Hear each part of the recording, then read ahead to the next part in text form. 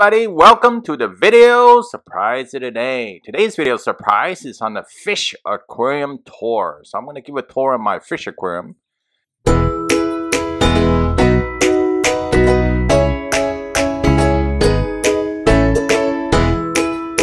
Okay folks, so today I'm going to share the hobby we have is actually for tropical fish aquarium. So our aquariums 34 gallon, so it's not going to be a really big aquarium, but definitely meets our needs. Uh, so we have a number of tropical fish over here, and tiger barbs. Uh, you got some black skirts. You got some mollies. You know, there's a Dalmatian molly here as well. So yeah, the layout is very simple. You know, and there's actually a little hiding area in the back over there. You know, sometimes the fish want some privacy, or you just want to, you know, hide it, hide out or something that way. So we have a place for that. Notice that we have a thermometer there and the thermometer keeps the temperature warm. Uh, we have it set at 75 degrees Fahrenheit right now.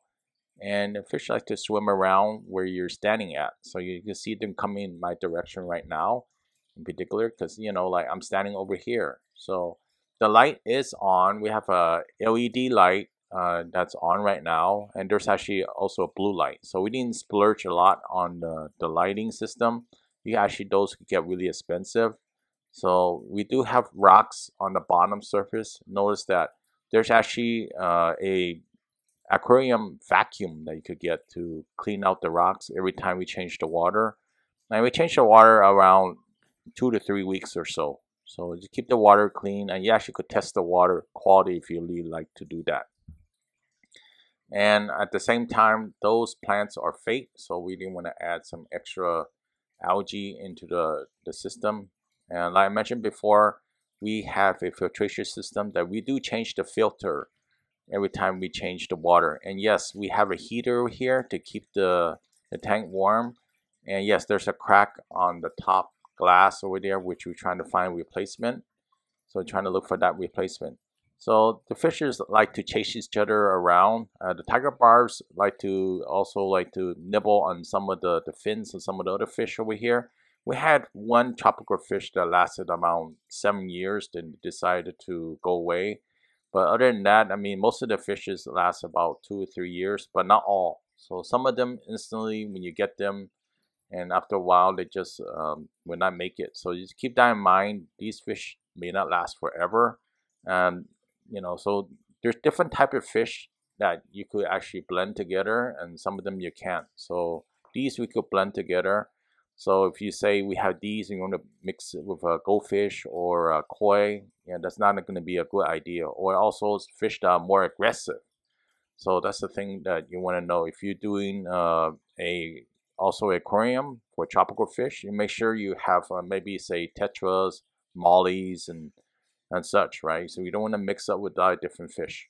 Uh, the aquarium actually, you know, is, is, well maintained right now. We don't have problems with algae or anything like that in particular. We do change the water and we also put a solution in there. So I'm going to talk about what we use in there, but you can look at it. The fish like to follow us around, and the, especially the tiger barbs. They're really beautiful uh, in person more than in the video.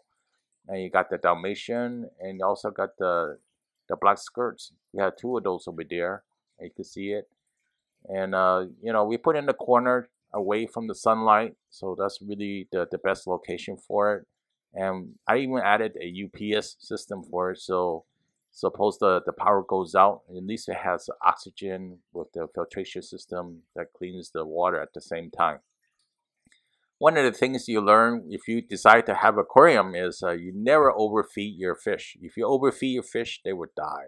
So it's probably a better idea sometimes to underfeed it. So, you know, so I'm going to show you what I use to, to feed them at the same time. So, and the decorations here are probably average. Uh, if you have some better decorations, you know, let me know in the comments so I could check it out. And I don't want to spend a lot of money on mines in particular but definitely that's something that uh, would come in uh, handy to make the tank more beautiful for others to look at. And the fish overall like to swim around and uh, trail you where you stand. So you notice that they're coming to the left side of the tank right here because I'm standing next to the left. So let's show you what's inside, what I feed them with. what did they feed these uh, tropical fish with? Well, you feed them with tropical flakes like these, you know.